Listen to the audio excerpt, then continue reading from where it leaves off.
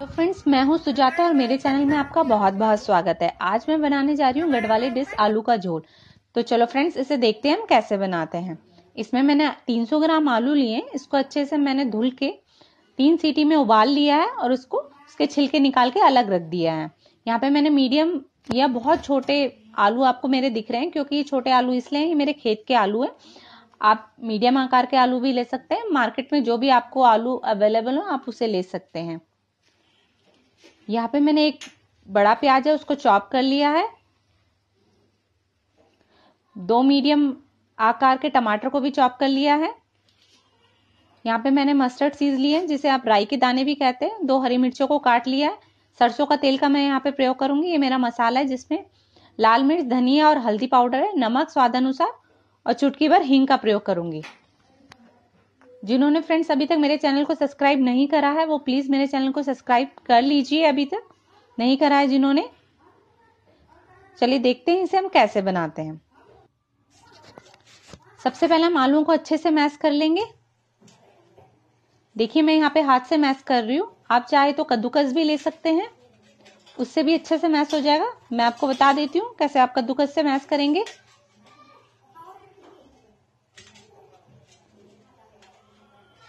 कद्दूकस का भी आप यहाँ पे प्रयोग कर सकते हैं।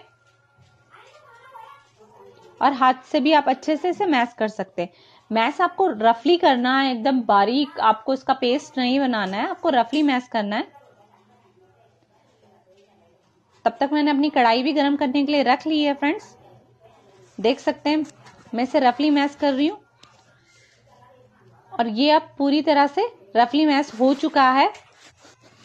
मैंने कढ़ाई में तेल डाल दिया है, जिससे तेल अच्छे से गर्म हो जाए, क्योंकि सरसों के तेल को गर्म होने में थोड़ा टाइम लगता है। नहीं तो उसमें महक आती है कच्चेपन की। तेल मेरा अच्छे से गर्म हो चुका है। यहाँ पे मैं राई के दाने डालूँगी। आप चाहे तो आप अपना जीरा भी ले सकते हैं, आपकी जो इच्छा। बस कड़वाल में, ज़्यादातर झोल में राई का दाना का ही प्रयोग किया जाता है। उससे उसका स्वाद अच्छा आता है। यहाँ पे मैं हरी मिर्च डालूँगी और फिर मैं अपना प्याज डालूँगी।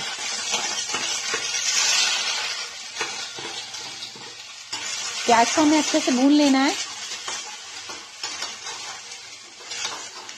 प्याज को आप इतना भूनिएगा कि प्याज का कलर पूरी तरह से चेंज हो जाए।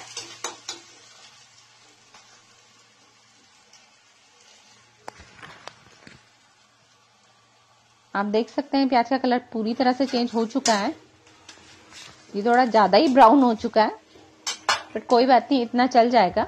आप इसे ज़्यादा ब्राउन मत कीजिएगा। हींग मैंने इसमें डाल दी अपनी। हींग में लास्ट में इसलिए डाल रही हूँ क्योंकि हींग का तब टेस्ट ज़्यादा आता है। अब यहाँ पे मैंने अपने टमाटर डाल दिए। टमाटर को आपको अच्छे से मैश करना है। जिससे आपके टमाटर पूरी तरह से गल जाए। स्वादानुसार नमक। मसाला। इस मसाले में एक्स्ट्रा कुछ नहीं है। लाल मिर्च, धनिया और हल्दी पाउडर है। आप इसको अच्छे से चलाइएगा। अब मैं थोड़ा सा पानी डालूँगी जिससे मसाला अच्छे से पक जाए। मसाले को तब तक पकाना है कि आपका जो टमाटर है वो अच्छे से मैश हो जाए। मसाला मेरा पक रहा है। अभी इसमें थोड़ी सी कसर और बाकी है। मैं इसमें थोड़ा सा पानी का प्रयोग और करूँगी। पानी मैंने इसमें डाल लिया को थोड़ी देर और पकाएँगे।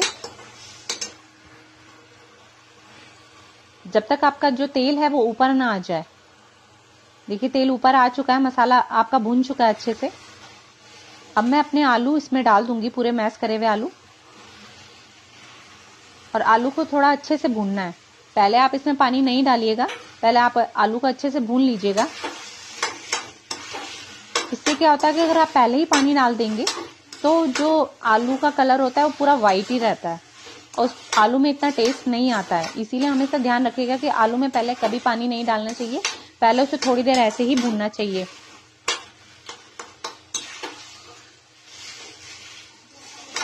देखिए, आप देख सकते हैं।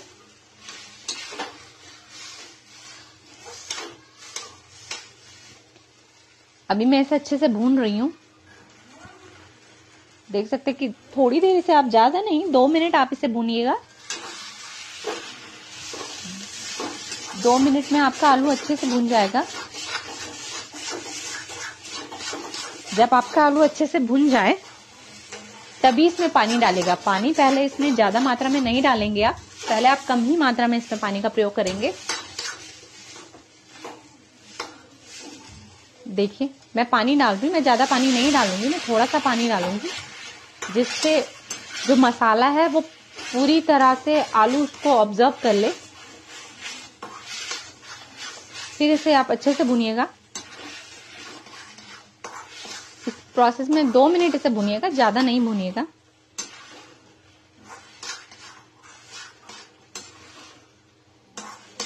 आपको अगर ऐसा लगे कि आपका मसाला या जो भी आपने जो ग्रेवी है वो नीचे लग रही है आपकी कढ़ाई में तो आप इसमें थोड़ा सा पानी और डाल सकते हैं।